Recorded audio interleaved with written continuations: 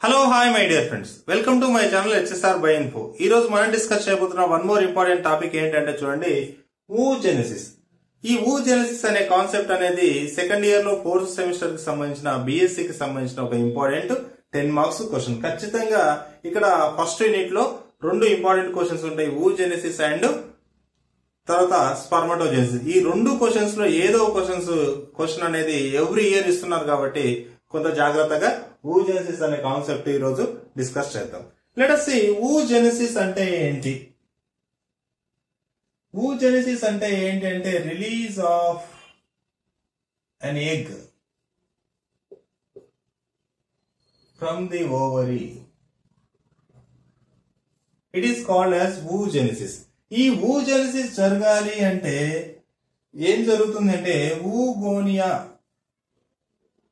అనేది ఏం ప్రొడ్యూస్ చేస్తుంది అంటే ఫైనల్గా ఓవం గా కన్వర్ట్ అవుతుంది. ఊగోనియా నుండి ఓవం వస్తుంది. ఓవం అనేది బయట సైడ్ రిలీజ్ అవుతుంది. ఈ ప్రాసెస్ను కూడా ఏమంటారంటే ఊ జెనిసిస్ అంటే. ఊ అంటే ఓవం అనేసి అర్థం ఎగ్ అనేసి అర్థం. జెనిసిస్ అంటే పుట్టడం. ఎగ్ ఏ విధంగా పుడుతుంది ఏ విధంగా రిలీజ్ అవుతుంది అనే దాని గురించి డిస్కస్ చేసేది ఏంటంటే ఊ జెనిసిస్ బేసిక్ థింగ్ ఏంటి అంటే ఊ జెనిసిస్ అనేది ఫీమేల్స్లో జరుగుతుంది. ఫీమేల్స్లో ఎస్పెషల్లీ రిప్రొడక్టివ్ ఫీమేల్స్లో జరుగుతుంది. రిప్రొడక్టివ్ ఫీమేల్స్ లోపల ఎస్పెషల్గా ఫెర్టైల్గా ఉండాలి. ఫెర్టైల్గా ఉన్న రీప్రొడక్టివ్ ఫీమేల్స్ లోపల ఊ జెనసిస్ జరుగుతుంది అంటే ఎగ్ ప్రొడ్యూస్ అయ్యేసి రిలీజ్ అవుతుంది. మరి స్టెరైల్ ఉన్న ఫీమేల్స్ లోపల ఏంటంటే ఈ ఎగ్ అనేది రిలీజ్ అవుతుంది ఇది కొద్దిగా గుర్తుపెట్టుకోవాలి. అయితే ఊ జెనసిస్ అనే ప్రాసెస్ ఎప్పుడు స్టార్ట్ అవుతుంది? బేసిక్గా మన అందరికి తెలుసు ఊ జెనసిస్ అంటే ఎగ్ రిలీజ్ అవుతుంది. మెనిస్ట్రల్ సైకిల్ జరుగుతున్నప్పుడు every fourteenth day egg egg అనేది రిలీజ్ అవుతుంది. ఆ ఫోర్టీన్త్ డే రిలీజ్ అవ్వడాన్ని ఊ జెనసిస్ అంటారు అనేసి చాలా మందికి అపోహ అనేది ఉంది. అయితే బేసిక్ థింగ్ ఏంటంటే ఊ జెనసిస్ అనేది మినిస్ట్రల్ సైకిల్లో జరగదు.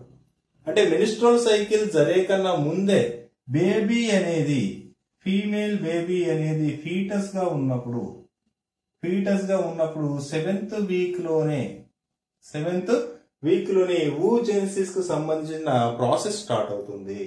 ఈ సెవెంత్ వీక్ లోపల యాక్చువల్గా ఓవరీస్ ఉంటాయి. ఫీమేల్ లోపల ఓవరీస్ ఉంటాయి. ఆ ఓవరీస్లో నుండి ఎగ్ ప్రొడ్యూస్ అవుతుంది. అందరికి తెలిసిందే. ఈ ఓవరీస్లో ఏం జరుగుతుంది అంటే సెవెంత్ వీక్ లోపల ప్రైమోడియల్ సెల్స్ అనేటివి ప్రొడ్యూస్ అవుతాయి.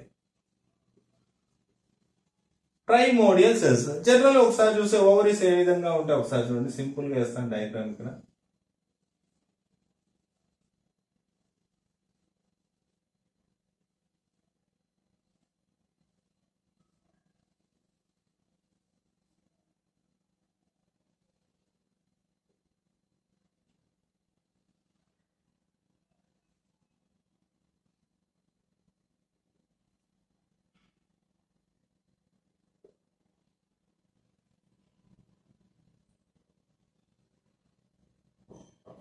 చూడండి ఇది ఫీమేల్ రీప్రొడక్టివ్ సిస్టమ్ జనరల్గా సింపుల్గా ఒక ఫీమేల్ రీప్రొడక్టివ్ సిస్టమ్ ఈ విధంగా ఉంటుంది. This is called as a uterus ఇక్కడ ఈ దీన్ని ఏమంటారంటే ఓవరీ అంటారు.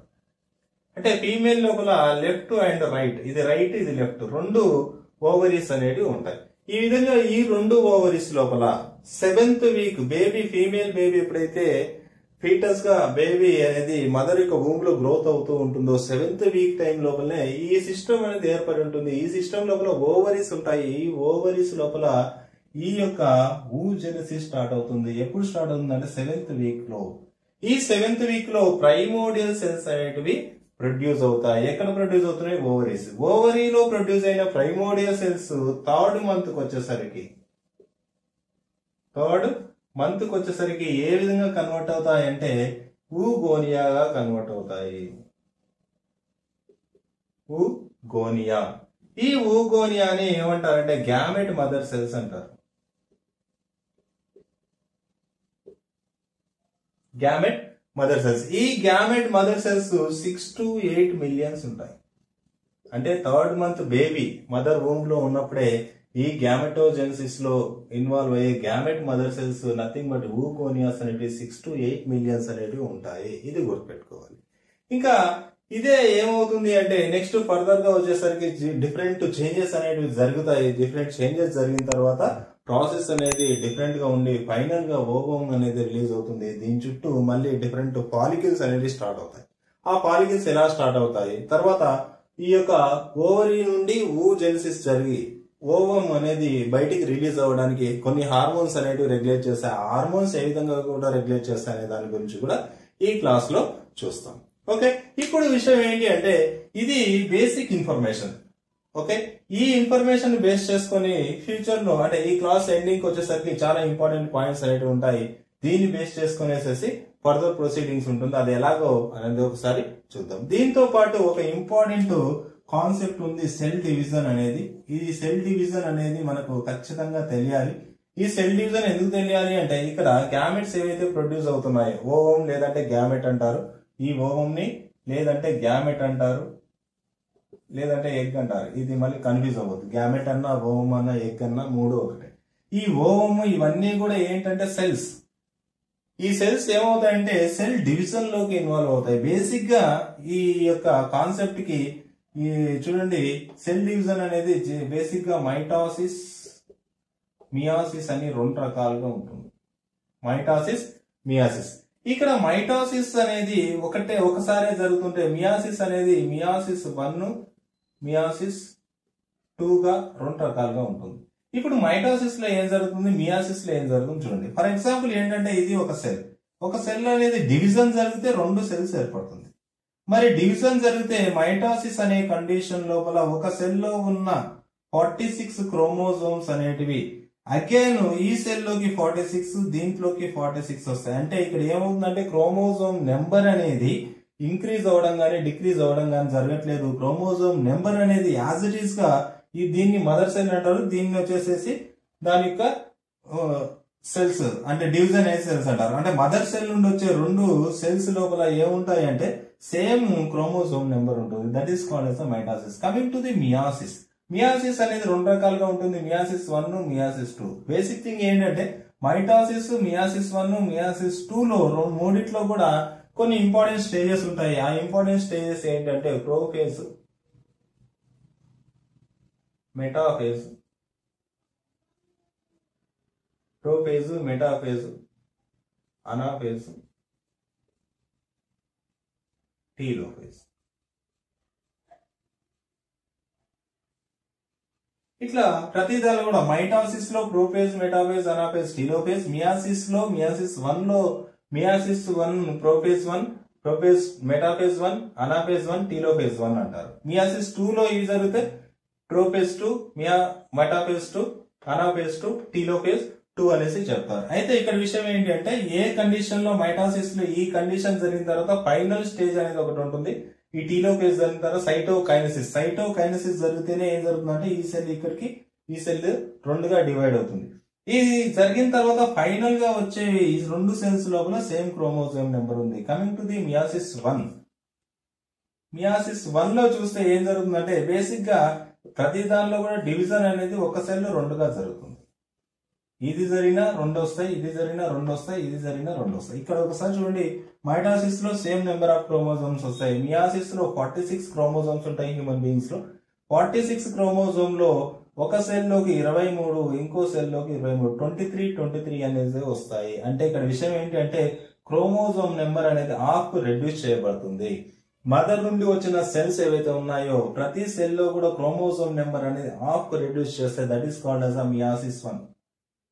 Coming to the meiosis two again this ఈ సెల్స్ ఏమవుతాయంటే మియాసిస్ టూ లోకి ఎంటర్ అవుతాయి. This is the meiosis one అయితే ఇక్కడ మియాసిస్ టూ జరుగుతుంది. ఈ ఇరవై మూడు క్రోమోజోమ్ ఉన్న ఈ సెల్స్ ఏమవుతాయంటే మియాసిస్ టూ లోకి ఎంటర్ అయితే మళ్ళీ డివిజన్ అంటున్నాం కాబట్టి రెండు సెల్స్ ఏర్పడాలి. ప్రతి డివిజన్ అయితే రెండు సెల్స్ ఇప్పుడు ఏం జరుగుతుందంటే ఇరవై మూడు క్రోమోజోమ్స్ ఉన్నాయి. యాజ్ ఇట్ ఈస్గా ఇరవై మూడు ఇరవై మూడు వస్తాయి.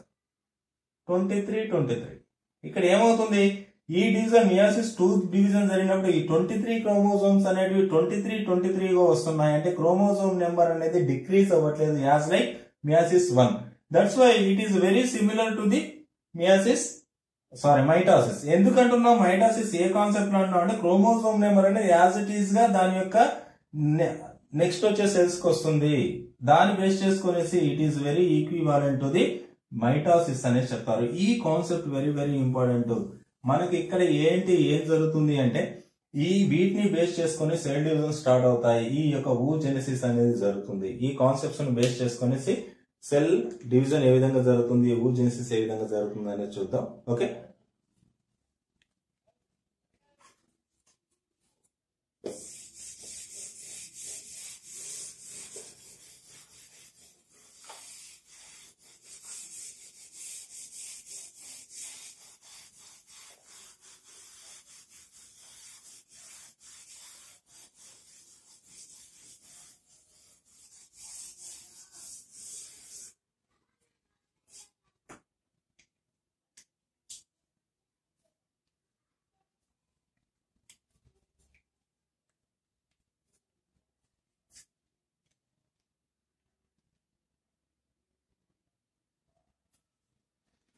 okay let's get started ఇప్పుడు ఏంటంటే చూడండి ఫస్ట్ ఇక్కడ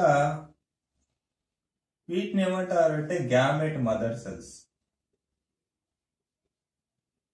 gamete mother cells ఈ మొత్తం ప్రాసెస్లో ఓవరీస్లో జరుగుతుంది అది గుర్తుపెట్టుకోవాలి. ఓకే ఓవరీస్ బేసిక్ ఎలా ఉంటాయి? ఓకే రెండు ఓవరీస్ ఉంటాయి లెఫ్ట్ అండ్ రైట్ ఈ ఓవరీస్ లోపల ఇక్కడ లేదు అంటే ఇక్కడ జరుగుతుంది అనుకో దీన్నే నేను ఎన్లార్జ్ చేసి చూస్తున్నాను ఇప్పుడు గ్యామెట్ మదర్ సెల్స్ అంటారు. ఈ gamete mother cells six to eight millions ఉంటాయి. ఓకే ఈ గ్యామెట్ మదర్ సెల్స్ ఏం చేస్తాయంటే ఫస్ట్ మియాసిస్ వన్ సారీ మైటాసిస్లోకి వెళ్తాయి. గ్యామెట్ మదర్ సెల్స్ ఏంటి? మైటాసిస్లోకి వెళ్తాయి. దీన్నే ఊగోనియా అంటున్నారు.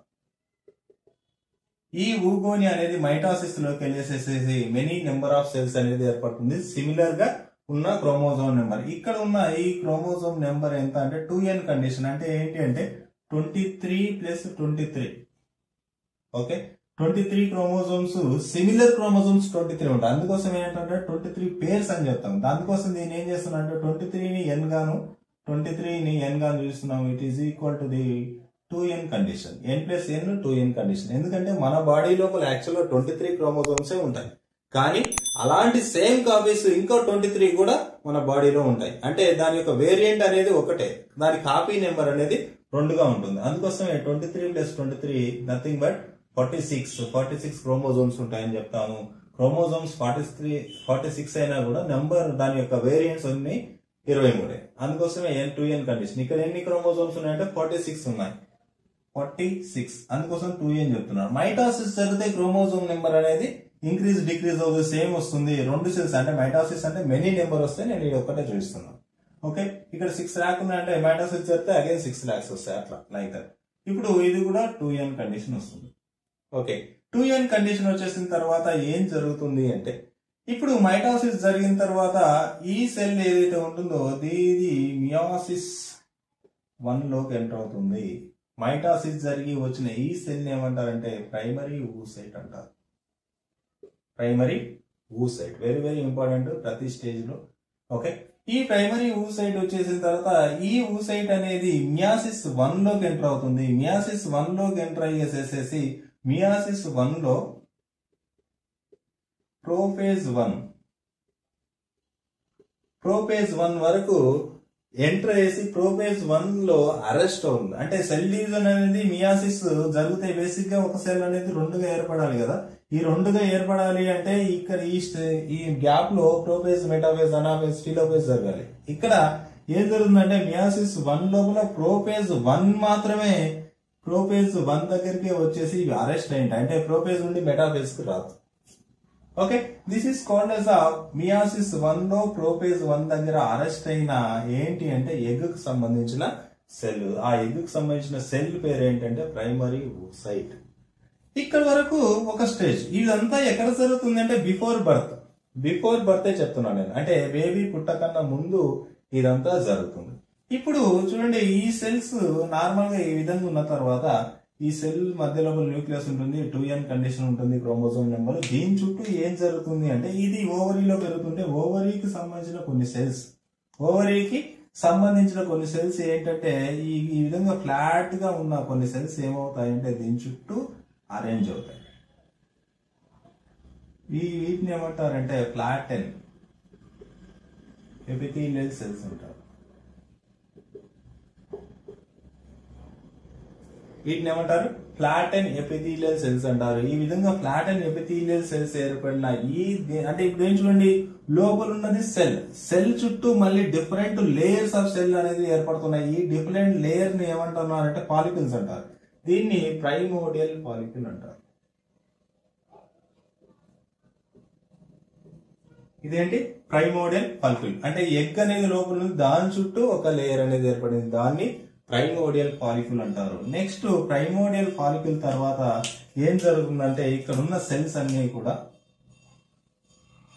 సేమ్ ఇక్కడ ఉన్న ప్లాటన్ ఉన్న సెల్స్ క్యూబాయిడల్ సెల్స్గా మారుతాయి.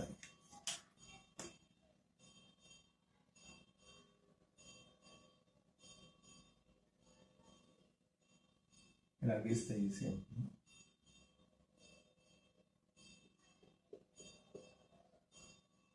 ఓకే ఈ విధంగా క్యూబాయిడల్ సెల్స్గా మారినాయి. ఇవి ఏంటంటే flattened cells that convert to the cuboidal epithelial cells cuboidal epithelial cells again ఈ క్యూబాయిడల్ ఎపిథీలియల్ సెల్స్ ఫర్దర్ ఏమంటే అంటే మెనీ ప్రొలిఫరేషన్ జరుగుతాయి మెనీ ప్రొలిఫరేషన్గా ర్యాపిడ్గా డివిజన్ ఒక సెల్ అనేది రెండు అవుతుంది దాని పక్క ఉన్న సెల్ రెండు అవుతుంది మళ్ళీ అవి డివిజన్ జరుగుతాయి. ఈ విధంగా జరిగిన తర్వాత ఏంటంటే చూడండి లోపల అనేది టూ ఎన్ కండిషన్లో ఉన్న ఏముంది అంటే ప్రైమరీ ఊసైట్ ఉంది. ఈ ప్రైమరీ ఊసైట్ ఉంటే దీని చుట్టూ ఏమైపడుతుంది అంటే డిఫరెంట్ లేయర్ లోపల చాలా పెద్ద లేయర్గా ఈ విధంగా సెల్స్ అన్ని కూడా ఫామ్ అయిపోతాయి. అంటే ఇక్కడ డిస్టెన్స్ చూడండి ఈ డిస్టెన్స్ తక్కువ ఉంది ఈ డిస్టెన్స్ చాలా ఎక్కువ ఇస్తున్నాను ఈ డిస్టెన్స్ ఎక్కువ ఇస్తున్నాను ఈ సెల్ లేయర్స్ అనేటివి చాలా లెంతీగా కన్వర్ట్ అయిపోతుంది. అంటే తిక్కుగా కన్వర్ట్ అవుతుంది. ఈ తిక్కుగా కన్వర్ట్ అయిపోయిన తర్వాత దీనికి అవుట్ సైడ్ ఉన్న సెల్స్ని ఏమంటారంటే తీకా సెల్స్ అంటారు. వీటిని ఏమంటున్నారు? Theca cells this is called as a theca cell okay? ఈ తీకా సెల్ కింది భాగం లోపల మళ్ళీ డిఫరెంట్ లేయర్స్ ఆఫ్ సెల్స్ అనేటివి ఈ విధంగా ఏర్పడి ఉంటాయి. ఇదంతా కూడా ఎక్కడ జరుగుతుంది అంటే పాలికిల్ ఇదన్నీ కూడా ఏంటి? ఫాలికిల్స్ అది గుర్తుపెట్టుకోవాలి. మన యొక్క ప్రైమరీ ఊ సైట్ లోపల చేంజెస్ జరుగుతలేదు ఆ ఊ సైట్ చుట్టూ చేంజెస్ జరుగుతున్నాయి. ఇది గుర్తుపెట్టుకోవాలి. ఇక్కడ లోపల ఈ తీకా సెల్కు లోపల ఏర్పడిన దాన్ని ఏమంటారంటే చూడండి మెంబ్రేన్ గ్రాన్యులోసా అంటారు. Membrane granulosa. ఓకే ఈ విధంగా థీకా సెల్స్ అనే outside membrane granulosa cells అనేవి ఈ విధంగా లోపల ఏర్పడి ఉంటాయి ఈ ఓ- లోపల ఏర్పడిన ఈ సెల్స్ అన్ని కలిసిన ఈ లేయర్ ఏమంటారంటే ప్రైమరీ ఊసైట్ అంటారు. ప్రైమరీ ఫాలిక్యుల్ అంటారు. అంటే ఇప్పుడు చూడండి ఇక్కడ ప్రైమోడియల్ ఫాలికల్ దట్ కన్వర్ట్ ఉంటుంది ప్రైమరీ ఫాలికల్. చిన్న లేయర్స్ వన్ లేయర్ దాని తర్వాత క్యూబాయిడల్ లేయర్ దాని చుట్టూ లేయర్స్ వచ్చిన ప్రొలిపరేట్ అయ్యేసి డిఫరెంట్ సెల్స్ అనేటివి ఫామ్ అయిన ఆ సెల్స్ని గ్రాన్లోజా సెల్స్ లేదంటే మెంబ్రెన్ గ్రాన్లోజా అంటారు. ఈ కండిషన్లో ఉన్న ఈ యొక్క ఫాలికల్ ఏమంటే ప్రైమరీ ఫాలికల్ ఇంకా ప్రైమరీ ఫాలికల్ అనేది ఎప్పటి వరకు జరుగుతుందంటే ఇక్కడ మదర్ వూమ్ లోపల బేబీ ఉన్నప్పుడు బేబీ ఉన్నప్పుడు సెవెంత్ మంత్ లోపల ప్రైమరీ ఫాలికల్ అనేది ఫామ్ అవుతుంది ఈ ప్రైమరీ ఫాలికల్ లోపల టూ ఎన్ కండిషన్లో ఉన్న ఎగ్ అనేది మియాసిస్ వన్ ప్రోఫేజ్ వన్ లోపల అరెస్ట్ అయి ఉంటుంది. ఇది గుర్తుపెట్టుకోవాలి. తర్వాత బేబీ అనేది దీని తర్వాత కండిషన్ లోపల నైన్ మంత్స్ తర్వాత బర్త్ అనేది జరుగుతుంది. బర్త్ జరిగిన తర్వాత ఈ లేయర్స్ అనేటివి డిఫరెంట్ కైండ్స్గా అరేంజ్మెంట్స్ జరుగుతాయి. ఇక్కడ ఉన్న సెల్స్ అనేటివి మెంబ్రెయిన్ గ్రాండ్ సెల్స్ డిఫరెంట్ లేయర్స్గా అరేంజ్మెంట్స్ జరుగుతాయి. అలాంటి కండిషన్ ఏ విధంగా జరుగుతుంది అనేది ఎప్పుడు జరుగుతుంది అనేది ఒకసారి చూద్దాం.